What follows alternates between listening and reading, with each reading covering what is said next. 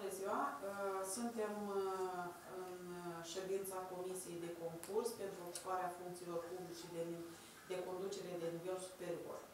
În data de 2 ianuarie 2019 a fost lansat concursul pentru ocuparea funcțiilor publice de conducere de nivel superior de director general adjunct al Agenției Proprietății Publice, responsabil de domeniul monitorizarea patrimoniului public și administrare corporativă, și responsabil de administrarea bunurilor proprietate publică și evidența patrimoniului public. Urmare perioadei de aplicare și în conformitate cu prevederile hotărârii Guvernului numărul 201 din 2009, membrii Comisiei de Concurs au examinat dosarele depuse în corespundere cu cerințele uh, solicitate pentru aceste funcții și prezintă lista persoanelor admise la concurs. Înainte de toate, vreau să menționez că fiecare din uh, membrii Comisiei de Concurs au semnat declarația de integritate și evitarea conflictelor de interese.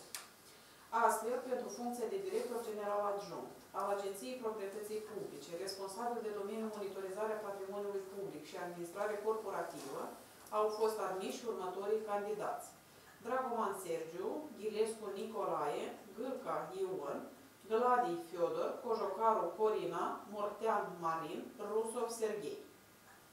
Pentru funcția de director general adjunct al Agenției Proprietății Publice, responsabil de administrarea bunurilor proprietate publică și evidența patrimoniului public, au fost admiși următorii candidați. Ghilescu Nicolae, Cojocaru Corina.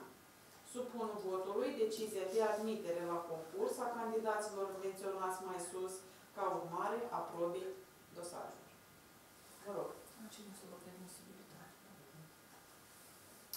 Candidații neadmiși la concurs vor fi informați despre motivul sau motivele respingerii dosarului depus. Competiția CV-urilor va avea loc în data de 27 ianuarie 2020, ora 17, în incinta Casei Guvernului. Vă mulțumesc!